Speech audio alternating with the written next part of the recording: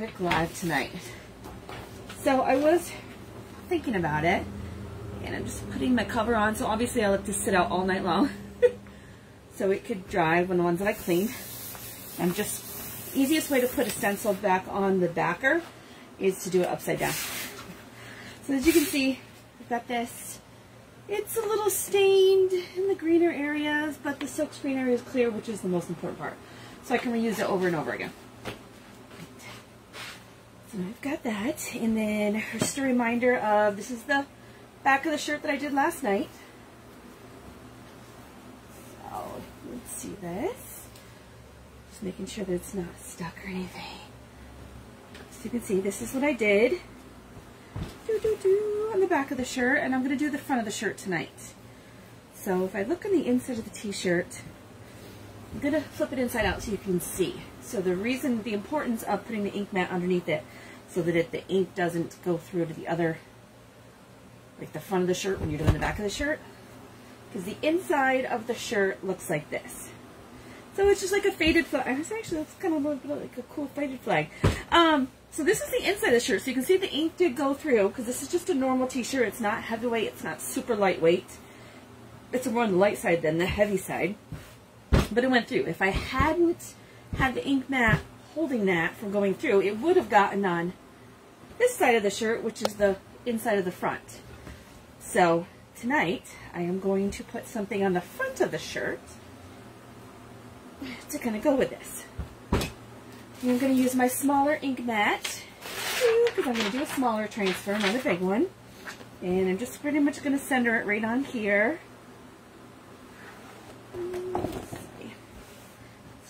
Shirt out. And usually this ink mat is twice this length. It's like that long. But I cut it to easily fit a nice small transfer. Then uh, I'm going to put it on. I'm going to flip the shirt inside out. See that it's, well, I guess that is the right side out again. Hello. Hey, guys. So, this is the back. This is the front. And the ink mat's underneath it. And I'm just to pull it so that, yeah, I get all the wrinkles out. Now, I do have some options for the front. So I have this is Star Stripes Forever to go across the front, which is the one I think I'm leaning towards most. Um, I do also have this one, which is the Life, Liberty, and the Pursuit of Happiness, which really does go with the back of the flag. Uh, this is just some extra stripes, and this is the Home of the Brave. So if I had, if I wanted to do like a little bit of a pocket or something even, I think I'm debating between those two. I do have some more 4th of July themed ones, but I mean, even if I have a pocket, I have 4th of July, but don't worry about that. So I think I'm gonna, all the decisions. Anybody have an opinion? Life, Liberty, and the Pursuit of Happiness. And then remember, this is what's on the back side of it. So I think I'm going to go with this because it's more like in this theme. It's got the stars and the letters. Put this to the side. And then if I do another one, I might do one, put this on the front of it. Alright, so it's going to be pretty quick and easy to do the front. And then I'll let this dry tonight again. And then tomorrow night I will heat set it. Um, or maybe even during early tomorrow or lunch or something. I don't know. Figure it out. Okay. Um, so I'm going to put it right here in the middle of the shirt. I'm not going to fuzz it because I want it to be as sticky as possible because I'm putting it on a surface that is not smooth. So smooth surfaces, you want to fuzz it up to add lint so it's not as sticky. And I'm just eyeballing it. So now all I have to do is decide on the color I want. So based on the colors I did last night, we've got the Ocean Mist, which is the blue, and then Mauvelous, which is this, and then the white. I don't want the white, so I'm thinking either the blue or the red for the front. And I could actually do both. I guess I could even do the stars white. I really liked how the Mauvelous came out on it, so I'm going to do Mauvelous on the front. So it is, it's a Mauvelous is in the mauve range, which is kind of like a little, uh, I guess I'd describe it as, it's not quite pink, like if you mix pink and purple together, a little bit like that, but with it being on a dark colored shirt, as you can see on the back, because of that, it came out like almost a reddish color, because it's a light color. So that's kind of what I want to happen. And I just need to decide if I want to, I want the stars to be in a different color than red. I might just do those in white just because they're, they're stars. Alright, so again, I'm just doing the ink and, oh, I didn't realize there's little hearts on happiness. So, the beginning and end of happiness, there's little hearts.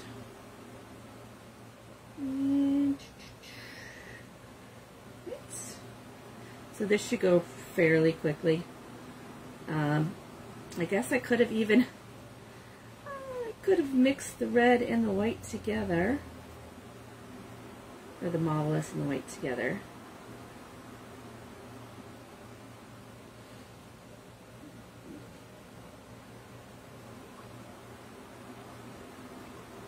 Uh, I'll just do the stars and pink since I've already got stuff out here. I'm just scraping the excess off and putting it on. Ink, try to go on as evenly as possible. Just scraping up any excess. You got lots of time to play with the ink so you don't have to be in any kind of hurry. And I did not get out something from my fingers. So far they appear to be clean. And so I don't think I want to put any white in it. So we'll just see. I mean, I've got lots of t-shirts, so if you see a shirt that I make that you like, um, let me know. I hear you, Alice. So hopefully you guys can see that okay. I'm going to throw this on my cleaning mat. I have these two things to clean now. And of course, after doing that, I got some on my fingers.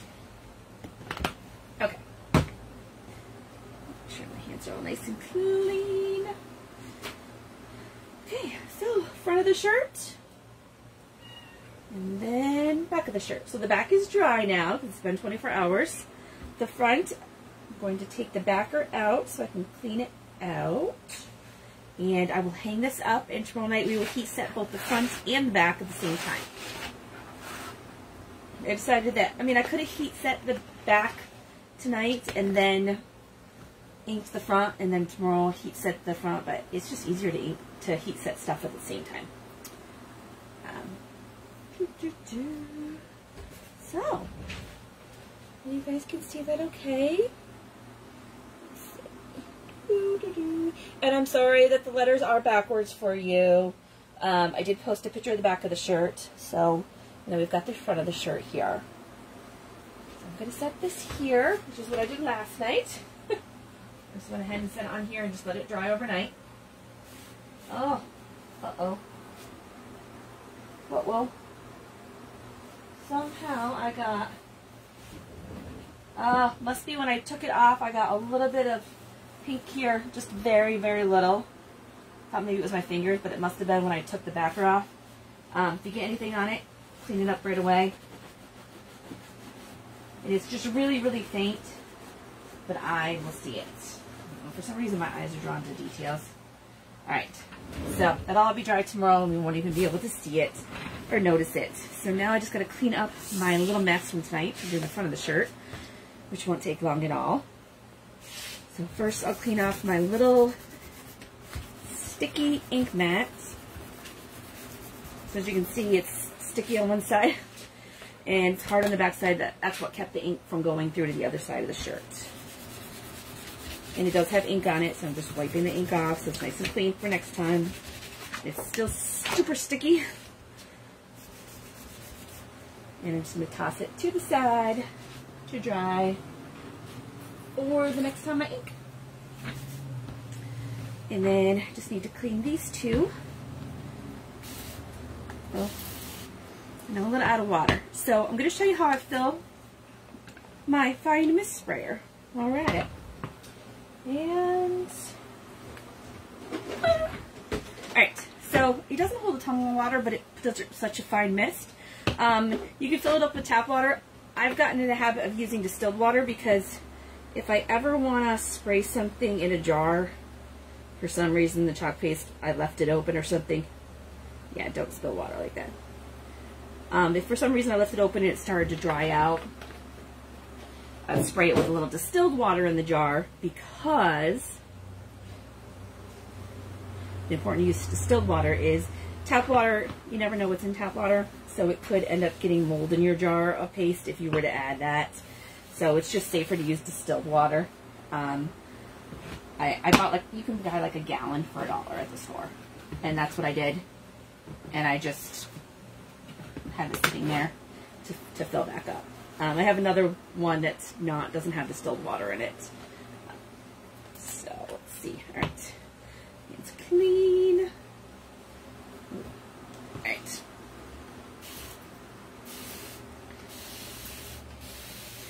So I don't know if you guys can really see how fine the mist is. Oh, let's see if you see it. It's super, super fine. Because I keep thinking if I'm going to get more of these, get my discount that I get, um, that I might put cleaning products in it because it's such a super fine mist. People convert other stuff into craft stuff. I can convert craft stuff into useful everyday stuff. And I'm just going to wipe off the ink. So as you can see, it's already, it's coming right off. Ink stays wetter longer. And I didn't even get my water bucket or anything out. I'm just using a couple of wipes. That's a small transfer. Ooh. So I clean the non-sticky side first. Making sure I get the letters all nice and clean. And of course I am pushing stuff through onto the cleaning cloth underneath. So you can kind of even see some stars there. Um, flip it over to the sticky side and I'll leave it to dry after I clean it off, sticky side up. So when you saw me at the beginning of the live, put the backer back on the flag, it was sticky side up. And I'm just going to wipe this dry. Using the Clorox wipes does help the transfers dry quicker. Um, it's the alcohol in the wipes that, that does that. So, so all I did tonight was my little squeegee and this, and the ink mat, of course. So I've got the ink mat that's drying as well. Um, and that's it for tonight. Quick and easy front of the shirt. Again, got the front of the shirt here. Life, Liberty, and the Pursuit of Happiness to go with the back of the flag. And that's going to be it for tonight. Tomorrow night I will heat set it and show you how to do that. And I'll walk you through how to do it with an iron just in case you only have an iron. Um, and then I'm going to get a really neat to clean this room.